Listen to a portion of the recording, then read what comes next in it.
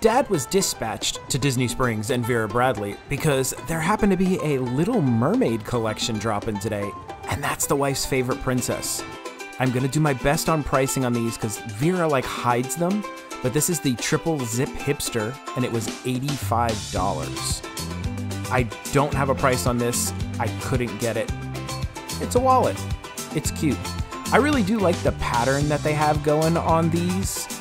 It's very pretty, but keep in mind, some of them have Ariel on them, and some of them do not.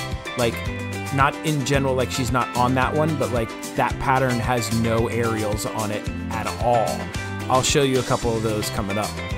And this is, I believe, the Weekender travel bag.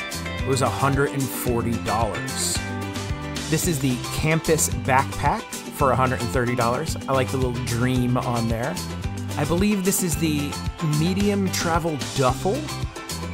Now, this bag was not listed on their pricing sheet. It was $120 according to the lady. There's that awesome tote. I will show that again later. This shirt was 40 bucks, and I really like the design on it. It's got a cool silhouette thing going on. Did you know that over 40% of you who are watching this video aren't subscribed? Why? If you're holding back, I have an idea. Dad is going to bribe you. This is a Hocus Pocus Loungefly wallet. It retails for over $50 and you could win it absolutely free. Be a subscriber, comment on videos. When we reach 6,000 subscribers, this is going to somebody. All right, no excuses. Back to the video. I think that was a pajama top before because these are labeled as pajama shorts and they are also $40. This was listed as a lotion bag. I do like the thingamabobs on there. Very nice. But 40 bucks for a plastic bag, eh, I'd spend $5 more and get the Shell cosmetic bag because that's what I need. These are breakaway lanyards and they are $25. And this is a zip ID bag and it was 20 bucks and then these were 25 and I have to say not a fan of that embroidery. She looks weird in that that's just not done well. I wasn't a fan of that at all. This pop grip looks nice. 20 bucks.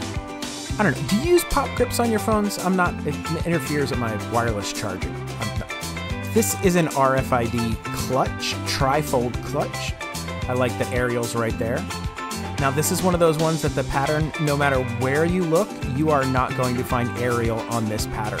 It's an RFID all in one crossbody.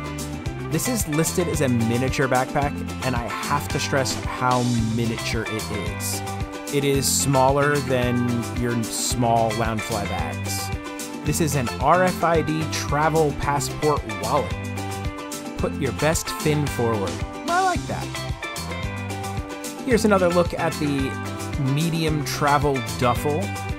This one does have Ariel on it, which is nice.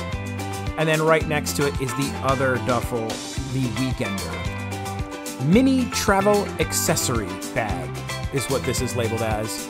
No Ariel on it, just get flounder. And this is actually my favorite of all of them. The embroidery on this is perfect. She looks great. I like the stitching of the shells on there. That's a nice bag. These are listed as bag charms. I guess way too big to be a keychain, guess you could use it as a keychain, but it's a bag charm. Guess that's a thing now. Picked up a pair of these for the wife. She was super excited to get some Ariel flip flops to wear to the beach and around resorts and stuff. Very excited about this. I think they're pretty cool looking too. 35 bucks is not a bad price for flip flops. I think. Crocs. Okay, these were $54 for adult and $34 for youth sizes happen to be a socks and Crocs kind of person, they had socks for 15 bucks. I like them. The wife was super excited that all this stuff dropped at Vera Bradley at Disney Springs today, March 15th.